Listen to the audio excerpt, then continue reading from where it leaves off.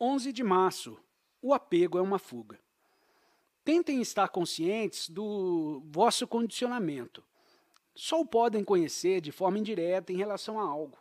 Não é possível estarem conscientes do seu condicionamento como uma abstração, porque nesse caso tudo se passa a um nível meramente verbal com pouco significado.